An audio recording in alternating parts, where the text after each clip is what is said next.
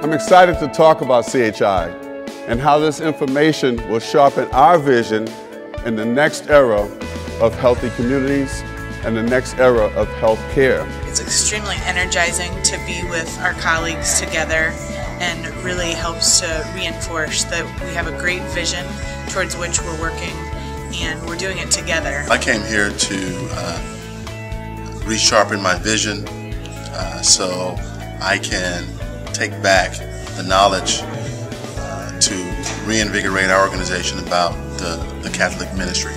I really respect and love the fact that we are looking at innovative and ways of delivering health care. It is an innovation, um, not only in how we take care of patients, but also our business models that will spell the success in the future. And I think CHI is right on track um, for doing that. The days of hospitals being financially rewarded for volume are over. Economic incentives will shift to payment for value, not for volume. We'll be rewarded for creating and maintaining the health of populations and caring for the people that we serve in our communities. The focus is on the patients and then how can we be innovative about the care we deliver and, and, and how we go about doing what we do every day. In terms of looking at the future and where we need to go and how we need to think that change um, will impact us, whether it's positive or challenging. It's got us all thinking. A value equation that includes better quality, better efficiency, and lower costs.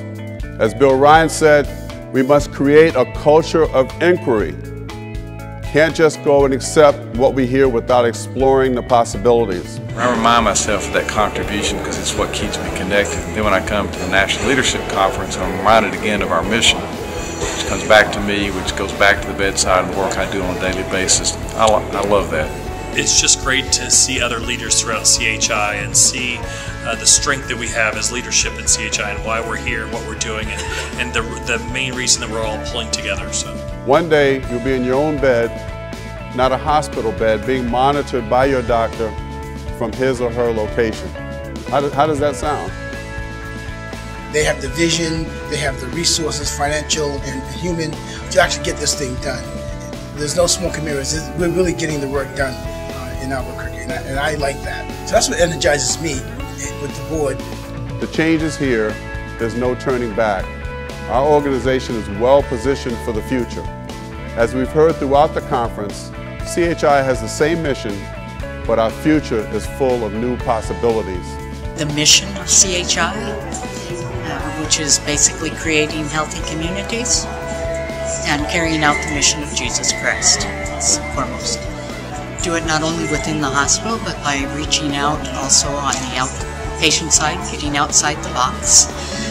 Because, as we know, as healthcare goes forward, it's not in the box anymore. It's mm-hmm. really outside.